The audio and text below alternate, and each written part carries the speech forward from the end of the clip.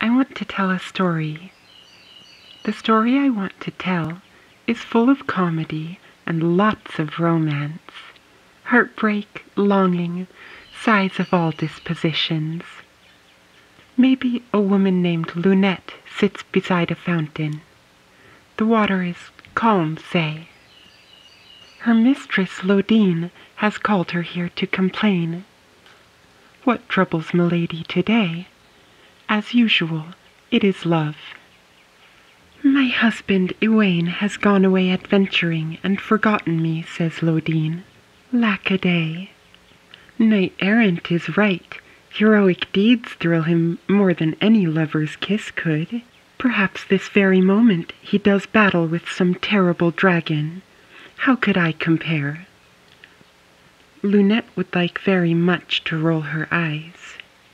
Maybe if you used this magic fountain to conjure forth a devastating tempest, she says, a category 3 for instance, then he may be more inclined to see you as comparable to a dragon in terms of urgency. Laudine sighs. Mayhap, I guess, but I don't like thunder. It frightens the dogs. Men are like dogs in some ways, says Lunette. For instance, in their boorishness and the way that they smell.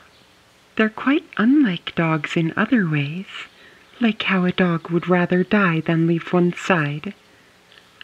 Yes, says Laudine, but dogs don't cause one's heart to flutter as a man may do. So I've heard, says Lunette. Oh, says Laudine, oh, if only I had a real lover like Lady Isoult has.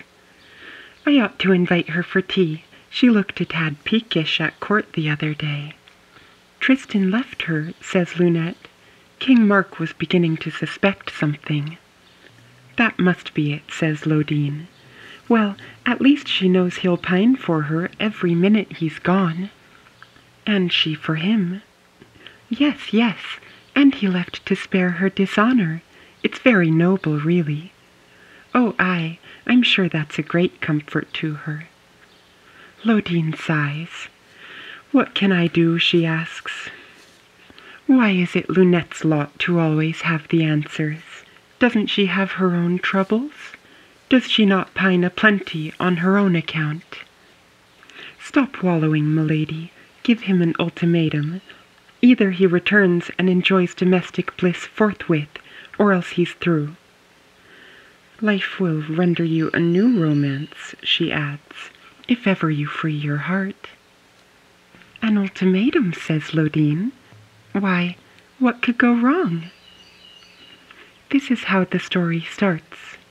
The keep is closed to Sir Ywain, and he goes mad with grief.